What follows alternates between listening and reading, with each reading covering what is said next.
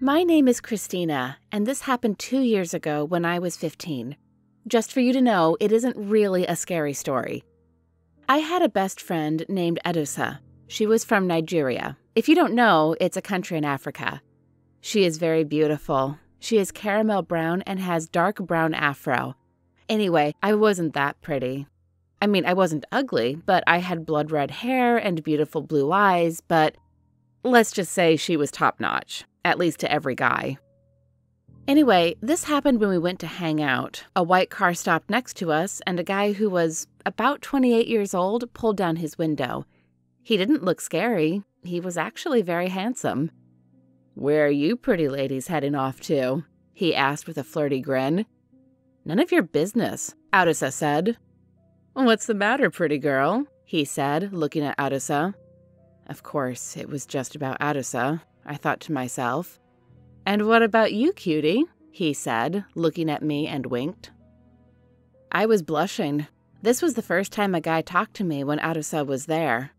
I was all over him at that point, but Adusa didn't really want to talk to him. But that didn't bother me. Actually, I was happy that I had him for myself. After 30 minutes of talking, he asked us if we wanted to ride with him. Get lost, freak, Adusa yelled, but I did want to ride with him. By the way, his car looked very expensive, so it would have been very exciting. So I told her that I wanted her to. I told her I was going to go. She tried to tell me not, but my mind was already set up. I entered the car and left Adusa behind.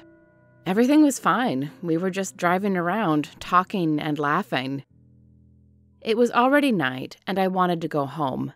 I told him to bring me home. He nodded, so he drove and drove. After 30 minutes, I noticed he didn't even know my address and he didn't ask for it. Where was he planning on bringing me? My naive self thought that maybe he was just going to leave me where he found me. We drove and drove until I fell asleep. I woke up by someone tying me up. I opened my eyes, and there he was, that 28 year old guy, tying me into a chair in a basement or something like that. He noticed I was awake and started grinning. Your friend there was really smart. You know, I would have preferred of taking her. I was confused. What what are you talking about? And what are you doing? He didn't answer, just started laughing like a mad person. What the hell did I get myself into? Not long after, there was a knocking. He stopped laughing and went up to check who was there, and then they came down with a man who was in his mid 60s. You promised me a refugee, the man said. I was so confused. They were both talking about me and for how much the old man would buy me. I was very confused. I didn't know what I should do at that moment. Then, I heard a loud banging on the door, and then someone breaking inside the house and immediately ran towards the door and banged it open. There were cops standing there with my parents and Adusa looking all worried. Later on, Adusa told me that the phone tracker we put in each other's phones to find each other whenever we needed to know where we are, she said she used it. Since I didn't answer her phone. And when she found out I was in another country, she immediately called the police. I am in another country? I yelled. I was so shocked.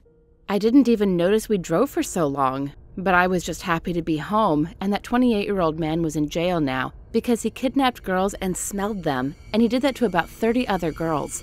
I am just happy that I am not one of them. He's now in prison for eight years. I just now know that not all crazy people look crazy and that I can't trust anyone.